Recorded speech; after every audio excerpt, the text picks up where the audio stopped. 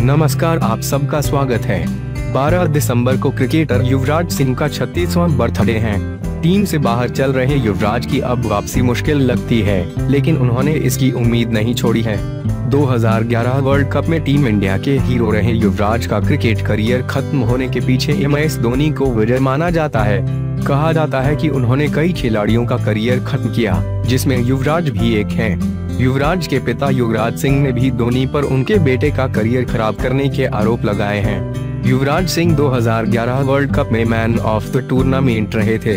उन्होंने नौ मैचों में नब्बे दशमलव पाँच के ज़बरदस्त एवरेज से तीन सौ बासठ रन बनाए थे। उन्होंने 15 विकेट भी झटके थे। सीरीज़ के दौरान युवराज को कई बार खून की उल्टी भी हुई, लेकिन वो टीम इंडिया को वर्ल्ड कप जिताने के मिशन में लगे रहे। 2 अप्रैल 2011 को टूर्नामेंट खत्म होते ही युवराज के साथ ही फैंस के लिए उन्हें कैंसर होने की खबर किसी झटके से कम नहीं थी। वर्ल्ड कप के तुरंत बाद युवराज अपने ट्रीटमेंट में जुट गए। इसके लिए उन्हें अमेरिका तक जाना पड़ा। युवराज की बीमारी ने ही उनके करियर पर सबसे बड़ा ब्रेक लगाया। यदि ऐसा नहीं होता तो वर्ल्ड कप के बाद युवराज जिस फॉर्म में थे, उन्हें रोक पाना आसान नहीं होता। बीमारी के कारण उनकी लय टूटी और करियर पर करीब 20 महीने का लंबा ब्रेक लग गया। 2011 से 2012 तक युवराज ने कैंसर से जंग लड़ी।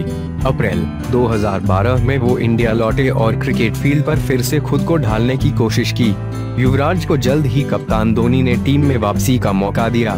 दिसंबर 2012 में पाकिस्तान के खिलाफ वनडे सीरीज़ के लिए उन्हें टीम में शामिल किया गया।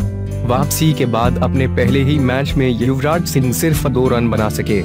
हालाँकि इसके बाद भी वो टीम में बने रहे। धोनी ने उन्हें एक दो नहीं बल्कि 2013 में पूरे साल खिलाया और कुल 19 मैचों में मौके दिए। लेकिन तब युवराज वर्ल्ड कप वाली फॉर्म में नहीं दिखे।